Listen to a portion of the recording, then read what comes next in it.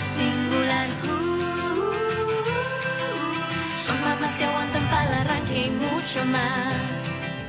Mamás sin límites. En este sector usted va a poder conocer el ejemplo de cada una de ellas.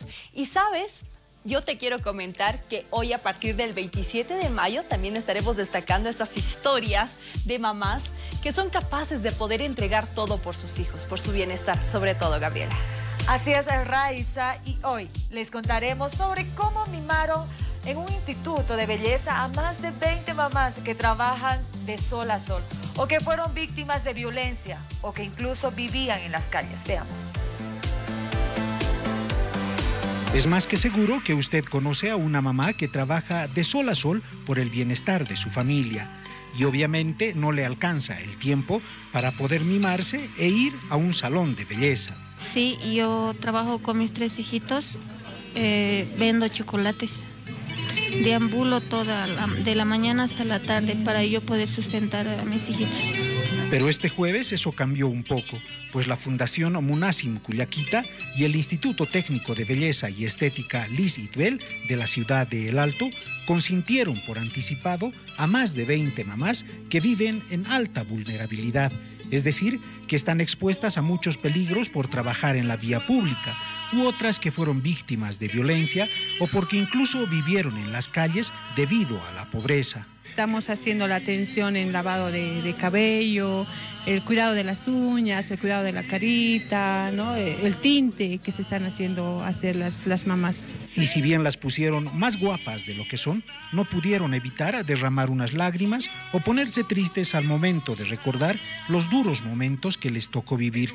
Algo de eso le ocurrió a Valeria, quien es madre de dos niños. Vivía casi 15 años en la situación que hay por maltrato de mi papá, ya fallecido ya. Cuando tenía mis 12 años pensaba que no era mi familia y yo. Por esa razón he empezado a tomar bebidas, a drogarme. Otra historia similar es la de Sofía. ¿Por qué has terminado en la calle, mami? Porque no tenía dónde acudir, no tenía, soy huérfana, somos nueve hermanos, no tenemos mamá, papá y no tenía quien apoyarme. Ahora me dedico al comer, soy comerciante. Sofía está convencida de que se puede superar toda dificultad, más cuando sus motores son cinco hijos. Los malos momentos que vivió ahora solo son recuerdos e incluso hizo gala de su buen humor cuando le aplicaban un tinte en su cabello. Ahora me voy a ir choca, nos dijo. Es como una batalla que tienes que saber superar y no es nada posible.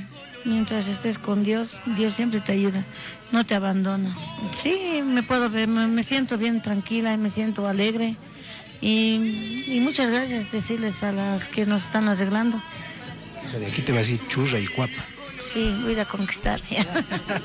y como usted verá, ese instituto de belleza se llenó de mamás ejemplares, pero también de mucho cariño y promesas de amor, así como la que Gloria le hizo a una de sus tres hijos, a la bebé que tenía entre sus brazos mientras la ponían hermosa. Hijita, te quiero mucho. Todo este tiempo que yo viva voy a luchar por ustedes, voy a construir algo para que siempre estén felices y que no sufran como yo. Que no olviden que su mamá siempre ha estado dando todo por ellos. Aunque no les dé lo mejor, yo les amo con todo el corazón.